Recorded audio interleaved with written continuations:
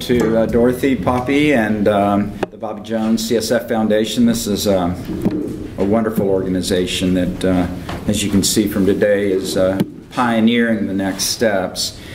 Um, so I'm going to share our journey with outcomes because I know this organization is very interested in progressing in that field. Um, so of course, a lot of this work I have to credit to, to Diane Mueller for taking the lead uh, in our effort.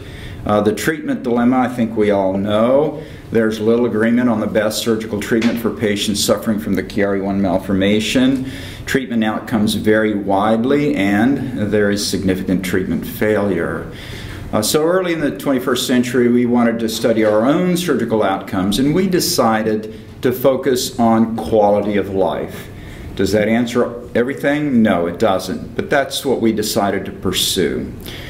Um, we searched for quality of life questionnaire. This sickness impact profile uh, was one of the most widely used scales. There's self-reported symptoms on the functional status in three domains. So the number of domains is helpful uh, in uh, making sure that these scales are reliable. You want to look at a variety of different components. So this one is physical, psychosocial, and uh, independent function. These are the 12 categories. I won't uh, list them, but there are questions related to these categories. We published this outcome study in uh, 2005, and 112 of our patients uh, pre and post-operatively one year uh, regarding their quality of life before and after surgery. Uh, we found statistically significant improvement in our patients at 84% uh, in their quality of life. Uh, patient age, the amount of tonsillar herniation, uh, the presence of syringomyelia did not correlate with the outcome.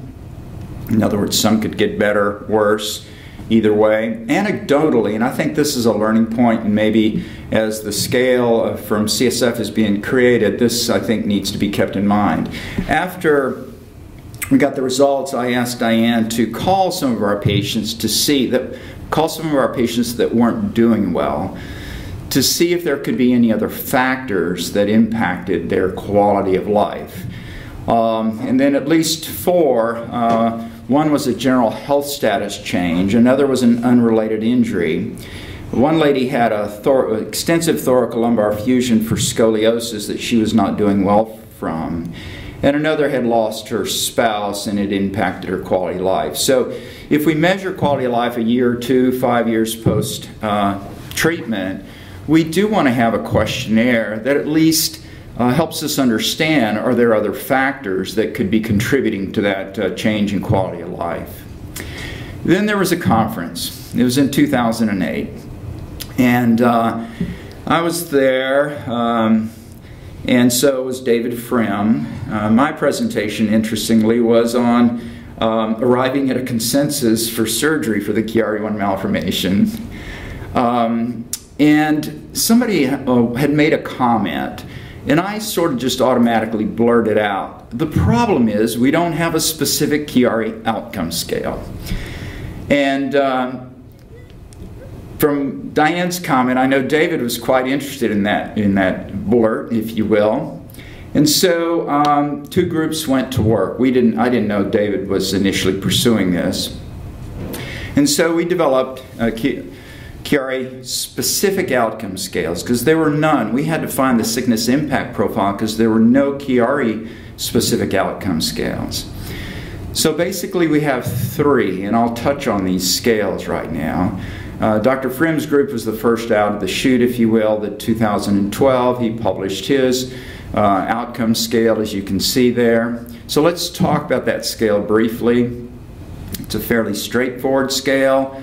Um, there are pain symptoms. There's a four-point score. Uh, unchanged, improved, resolved. The higher the point score in this scale, the better the patient is doing. Non-pain symptoms, functionality, are there complications? And then you got a total score. Um, and the range then is 4 to 16. The higher the score, the more improvement. And again, these four domains, if you will, up here. Okay.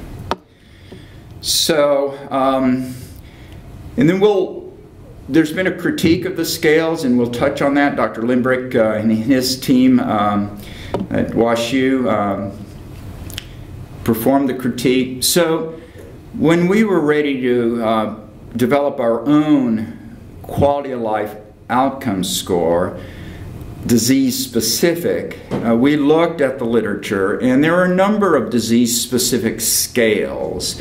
Um, for instance, this one's instructive. It was initially developed, but then the Asia group uh, formed, they adopted and adapted this scale. So you can take a scale and adapt it to a newer expanded scale. Although I have not discussed this with uh, Dr. Mueller, Diane Mueller, uh, it is possible, for instance, if you choose to adapt a component of the Chiari sickness, Chiari symptom profile, that that could be considered. In other words, maybe not reinvent the wheel, but nevertheless. So there are a number of scales available that are disorder specific. Why quality of life? Why did we choose quality of life? Because really that's the moral imperative. The reason we're here and we're treating is the patient's perception. So this is uh, the wording we used in the article. The moral implication of medical intervention has, has led clinicians to examine the quality of life as a significant outcome measure. The individual's self-perceived quality of life must be must imbue the opinions, experience, and expectations of the patient as the recipient. So I think any outcome scale needs to consider uh, in self-reported quality of life. Um, there are a lot of people too that contributed, Kimberly Sexton and Data Curl. Uh, and our statistician obviously can't do this without a statistician. There was a small grant from Conquer Chiari to support the statistical analysis. We used the Likert scale, sometimes called Likert scale, and I'll show you that scale. So this scale is very useful and it can be modified. The standard five point Again, this is 5, even though it's, it goes to 4. 0 is 1, so it's a 5-point scale, never to all of the time. And it's in four domains that are important to us as individuals. So what we did then is we scanned uh, hundreds, the nurses scanned hundreds of patient assessments, nurse practitioners, uh, and the literature to develop initially 70 questions. Then the statistician uh, and the team uh, a convenience sample of seven, and they did inter-item correlation matrix that suggested of these 70 questions, 13 were redundant. They were essentially asking the same thing in different formats. Phase two was 10 patients uh, and that had a very high uh, inter-item uh, correlation of 0.935. And uh, this demonstrating uh, integrity of all questions, excellent validity and reliability. Uh, then convenience sample three was performed to verify that. Uh, and so we ended up, so this is the current Chiari symptom profile. It's available to anyone who wants to use it, no cost. Um, 57 questions, four domains, Likert scale. No disability is zero. Severe disability would be 228. It's here just to give you an idea um, some of the questions that uh, are in the scale in the Likert. So they're fairly easy to, uh, to fill out. And compliance is high because we don't see them unless it's filled out. And we, we never have to force them if they haven't filled it out before they come in. They can fill it out on the computer online. What's nice about that is it's automatically scored. Um, so there's high compliance in filling out. And I won't read them all, but some of these obviously are symptom related. Here's quality of life, keeps me from participating in activities I enjoy. I'm working shorter or limited hours due to my symptoms. So imagine 57 questions that are trying to reach at how is this disorder or what is your quality of life. And then uh, to review the statistical conclusion uh, using this uh, system here, this software, uh, statistics software. Uh, Cronbach again 0.958 demonstrating strong reliability as a survey tool for Chiari symptoms. It was published in the Journal of Nurse, Neuroscience Nursing 2013. I uh, advocate that in your teams it's going to be nurse practitioners or PAs that are going to be the primary advocates of getting this work done. Um, if you consider the CSP, there are several uh, reasons to, to do so or something like it. Of course, we want to understand and quantify self-reported symptoms in the initial evaluation. We want an objective quantitative measure of the symptoms before and after decompression.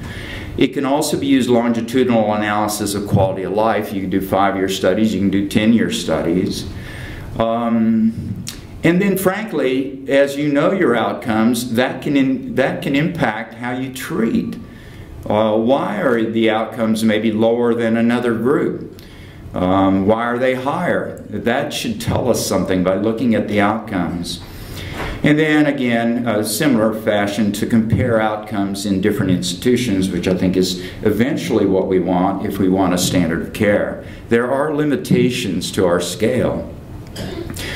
We did not design it to quantify the pre and post operative structural and dynamic components of the Chiari malformation. That was not our goal.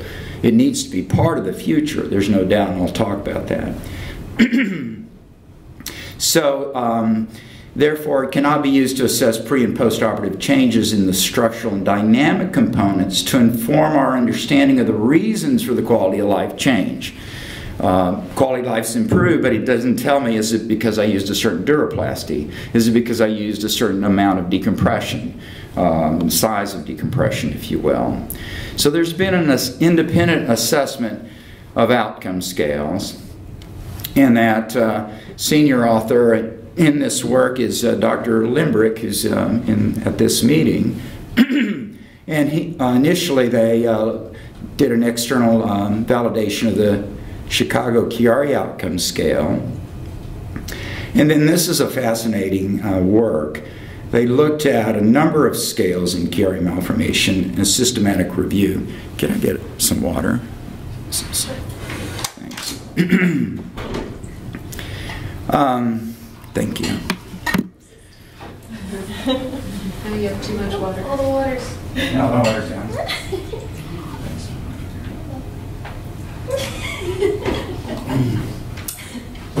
so, this is a, a great effort excuse me, 74 papers met inclusion criteria. Um, they decided to group them, or could be grouped into three groups. Gestalt impressions. So 45 papers in the literature, Chiari outcomes are Gestalt impressions. They're better, they're worse, there's no change. It's a gestalt that the clinician has after listening to the patient and examining the patient. Um, there were 20 papers that looked at specific signs and symptoms in it and then calculated outcomes depending on the improvement or lack of improvement. And 22 of these 74 papers did use standardized assessment scales. Six were disease specific. In other words, 11 were general quality of life. Uh, six disease specific, three of these scales were um, had been validated. And so the assessment of the Chicago Outcome Scale was that it was more reliable than the author's Gestalt impression.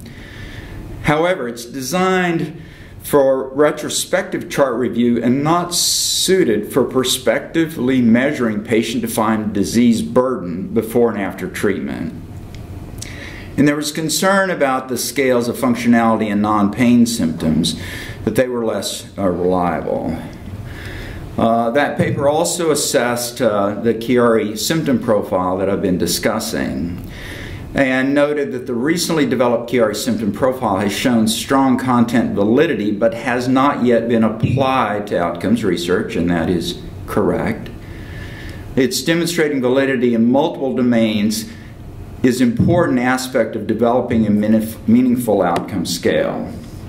Now, since my role is going to be changing pretty soon, one of the key things then is to take our patients to the Medical Center of Aurora which are certainly going to be over 500, um, and try to give uh, an answer to that. What is our outcome using this tool in our patient population? Um, also, yeah, I think I've mentioned that. Now, I was at the Column of Hope this summer in June in Buffalo, and I met a Dr. Sumit Thakar at this institution of higher medical sciences. This hospital only treats cardiovascular and neurosurgery, and at least in Bangalore area, all patients uh, come here for that. Um, they do 20,000, they've done, basically they do about 1,500 surgeries per year. I do not know how many Chiari surgeries they do. But he recommended to the audience that the CSP be incorporated into outcome measures. And Marcus Stoodley, who directed the conference, also supported that. But I think you can't not use the CSP solely. So let's so kind of wrapping up, let's talk about the next generation scales. Where do we want to go? Where are we going? So I think the first of the next generation scales, again, is by Dr. Limbrick and his team uh, at WashU. And it is, um, it looks at both the clinical and neuroimaging characteristics. And I think that's what we need. We clearly need patient quality of life measures. Again, we're trying to help the patient. It's all about that. But we also want to know what should we do, how, what should we change, etc. What, uh, what changes in the neuroanatomy, for instance, change um, outcome. And I, if I had my dream outcome scale, uh, this would be a draft. Of course, we'd want to have demographics, age, gen, gender, ethnicity. I'm tired today. a comprehensive symptom profile, including detailed subsections. Now, that, I think this is important. We all know the common presentation. I mean, it's usually headache, usually Valsalva related, usually dizziness, uh, a number of other symptoms. But there are, uh, uh, you know, cognitive symptoms, uh, the cerebellar cognitive affective syndrome. We need to, and Dr. Limbrick also brought this up in his paper, we need to look at rare presentations. Um, we need to understand cerebellar fits in children more related to Chiari. There are two children with paroxysmal rage that present, and they're in the literature. I suspect there may be more. We don't know that. This is hidden information. Um, Cephalon nerve, nerve palsy, hemifacial spasm related to Chiari malformation. Rare, I'm seeing a young man right now with uh, palatal myoclonus with Chiari malformation. There's only one case in the literature, um, obviously extremely rare.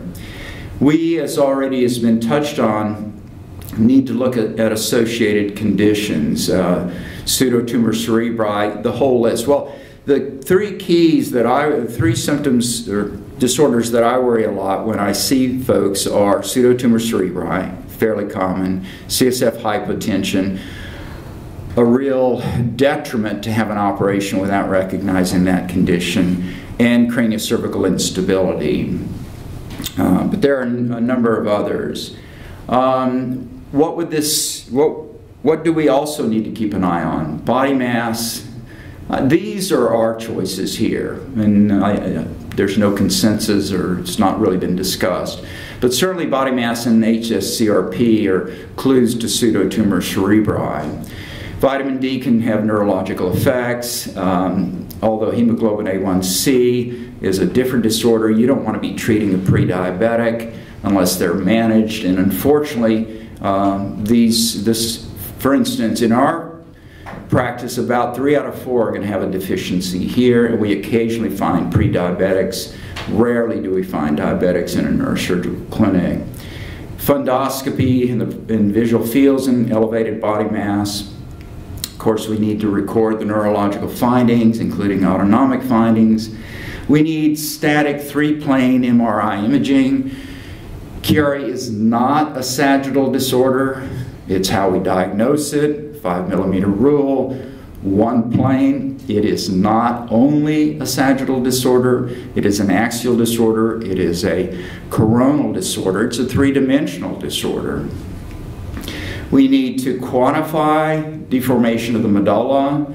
Uh, the tissue trains, uh, strain studies pioneered by Dr. Henderson, um, of course, are uh, very helpful. and I think the future, if you really wanted to know what I think we hopefully will have in the next generation, is defining Chiari and assessing its treatment and outcome with 3D imaging. What is the volume of the cisterna magna? Well, what is uh, what are the complex neuroanatomy relationships? How do those tonsils wrap around? We know you can. Why do some people have Chiari zero? Okay, it tells us that five millimeter is just a rough guideline. Well, they have it because they don't have the sagittal hang down, but they have the lateral wraparound of the brainstem and deformity of the brainstem. And we have to begin to analyze on axial views that, uh, that change. Um, of course, we have to define what treatment is utilized.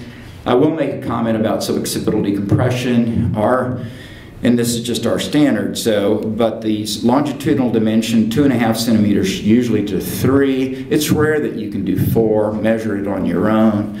But that that elevation of decompression, of the longitudinal decompression, I think is arguable, or is general consensus, I would say. It's the transverse amount of decompression that's done.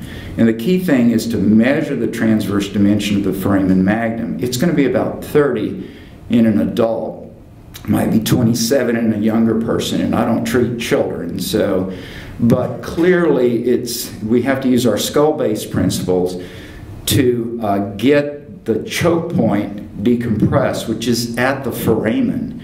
Then we go longitudinal. These very large decompressions. Now, I, I, think if you want to do four centimeters transverse, I don't have any issue with that.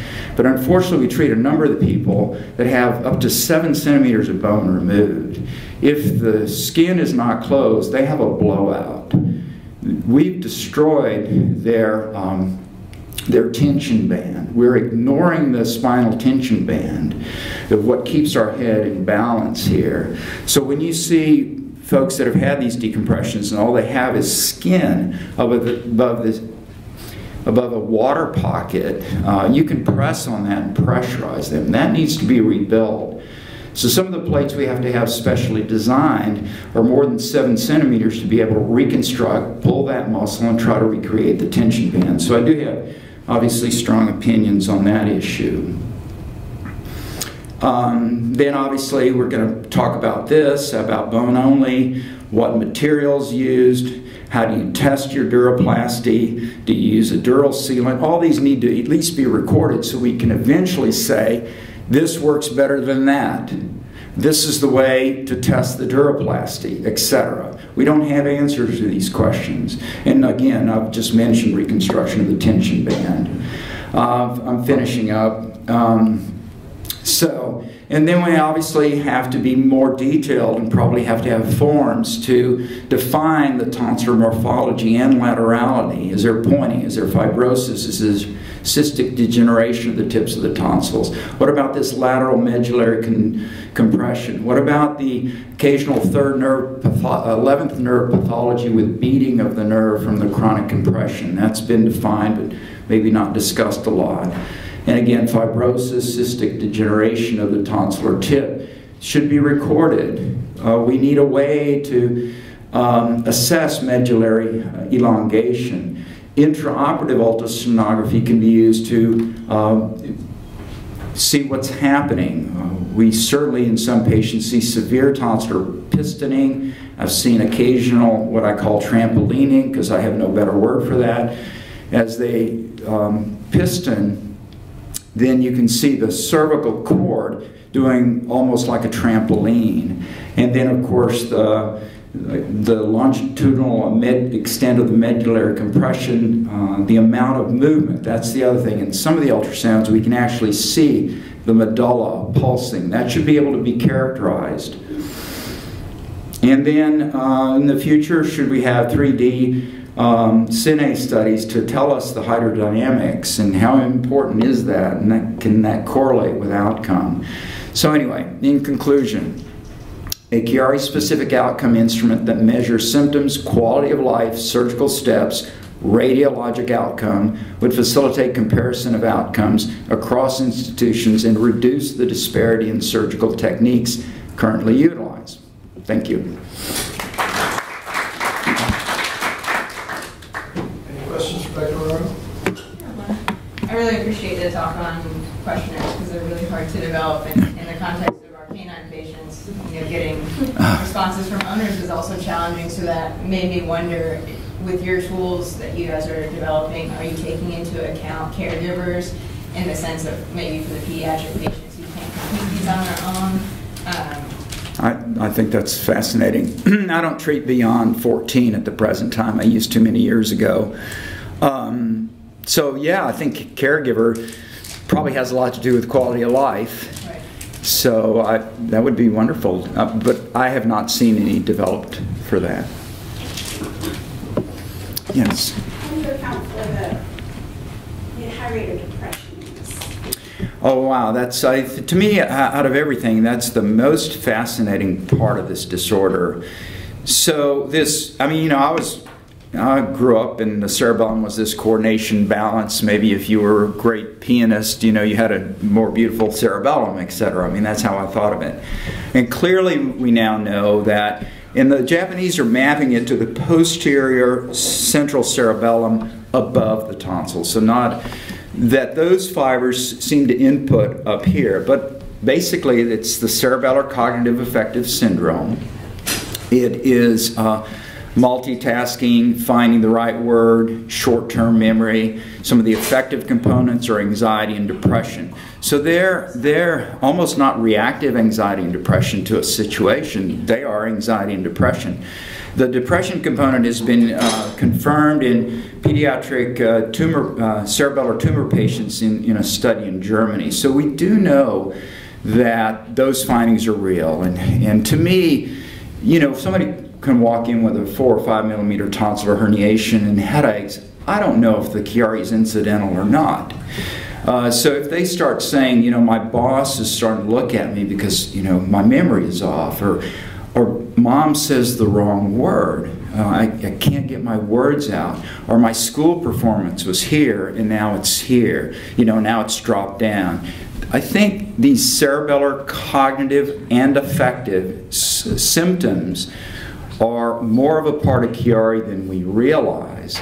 And frankly, to me, they're clues that something's going on because so many of us can have headaches. So I think it's fascinating. I think if we all begin to record it as we see folks, we'll be able to characterize is it 15%? Is it 20%? Are those, like those standard depression screening questions built into this tool? Uh, well, depression and mood, we do have questions in the questionnaire about are you depressed or et cetera, but they're not they're not specific subscales. And I think we once something is triggered, then we ought to have a specific subscale for cerebellar cognitive affective syndrome or other components of especially if they're rare presentations. That's precious information. You know, these folks are lost a lot of times um, because they may not have the classic headache. Um, but uh, You could track that progression also. and then the outcome Do- does and am I going to affect the uh, cerebellar cognitive function by uh, reducing the tonsils? Okay, we don't think so, but we don't know for sure. Okay, some of the ophthalmology studies have shown that just above the tonsils, you can affect some functions. Now, fortunately, when I've seen a few optic functions, they've they've settled, um, but it's a concern. I mean, I think the tonsils. We need to know a little more about them. On the other hand, we do know that reduction of elongated compressed tonsils in a severe patient with Chiari malformation can make a significant improvement in the quality of their life.